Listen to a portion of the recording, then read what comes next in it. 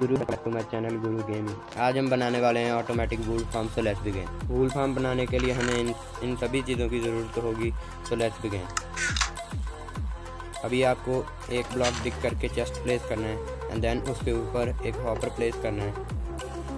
आपको ध्यान रखना है कि हॉपर सिर्फ़ चेस्ट को फनल करना चाहिए और किसी भी चीज़ को नहीं। अभी आपको हॉपर के लेफ़्ट साइड पर तीन ब्लॉक लगाने हैं, और राइट साइड पे भी। अभी आपको एक ब्लॉक और प्लेस करना है उसके ऊपर एक और ब्लॉक लगाना है। आपको नीचे वाला ब्लॉक तोड़ देना है, ये सब आपको दूसरी साइड भी करना होगा।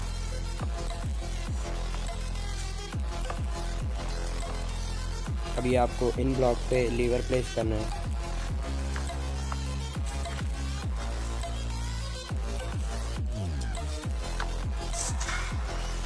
अभी आपको कॉर्नर पे पाउडर रेल लगाना है। एंड आपको बीच में नॉर्मल एयर प्लेस करना है।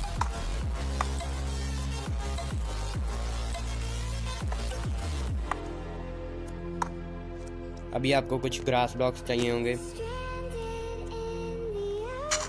ग्रास ब्लॉक्स को आपको रेल के ऊपर लगाना होगा।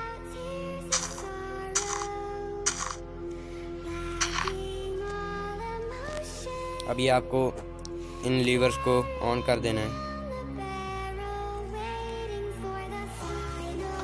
एंड आपको अभी माइंड कार्ड विद हॉपर लेना है एंड पावर एल के ऊपर प्लेस कर देना है। ये मूव होना शुरू कर देगी गाइस अभी आपको कुछ ऑब्जर्वर चाहिए होंगे।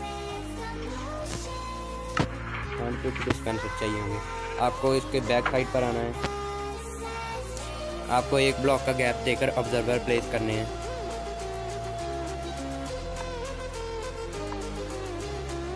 ऑब्ज़र्व के, ऑब्जर्वर के पीछे आपको एक एक टेम्परेरी बिल्डिंग ब्लॉक लगाना है।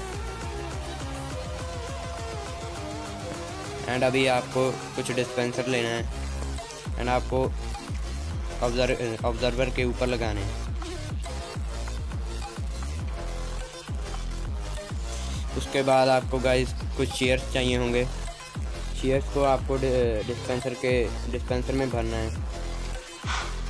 जैसे जैसे आपका फार्म होल्ड होता जाएगा गाइज़ आपको चेयर को रिप्लेस करना पड़ेगा।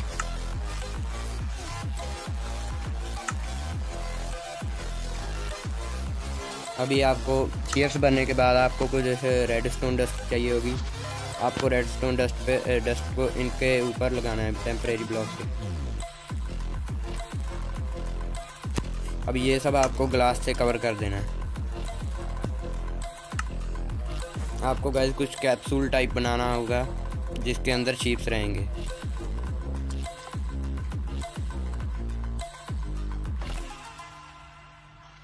अभी आपको इनमें शीप्स भरना होगा। अगर आपको कोई स्पेसिफिक कलर चाहिए तो आप शीप्स को डाई भी कर सकते हो। देखिए गाइस हमारा फार्म वर्क करने लग गया है। ये देखिए गाइज़ मैं समझाता हूँ ये कैसे वर्क करता है।